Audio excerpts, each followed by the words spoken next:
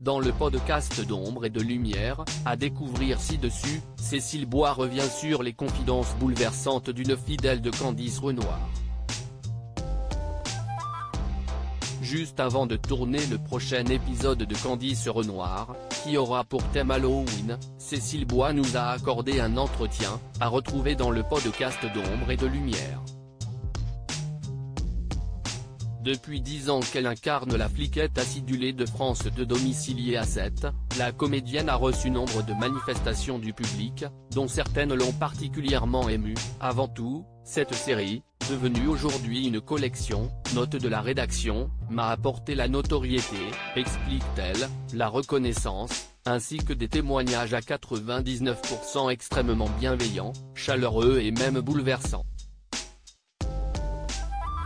Cécile Bois se souvient du témoignage du téléspectatrice après la première saison de Candice Renoir c'est alors que la comédienne, qui a récemment partagé l'affiche de Addict, mini-série de TF1 avec Sagamore Stevenin et Mehdi Sadoun, se souvient particulièrement du message d'une téléspectatrice reçue via les réseaux, juste après la première saison, elle m'a écrit qu'elle était devenue très ronde suite à sa grossesse, après laquelle elle n'avait pas réussi à perdre ses kilos.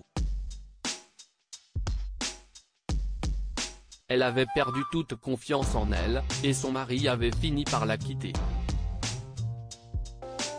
Devenue mère célibataire d'un fils de 4 ans qu'elle adorait, elle a continué à grossir avant d'entrer en dépression. Pour Cécile Bois, Candice Renoir fait du bien l'émotion dans la voix, Cécile Bois poursuit son récit, après avoir vu la première saison de Candice Renoir, cette femme s'est mise nue devant un miroir pour la première fois pour accepter son corps et elle a décidé de bouger.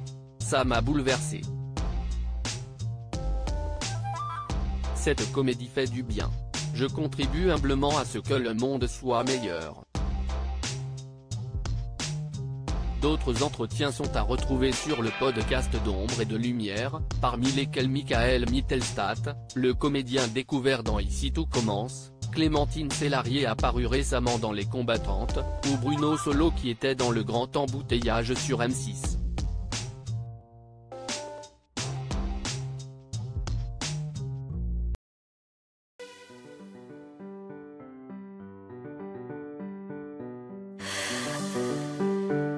The man I love just had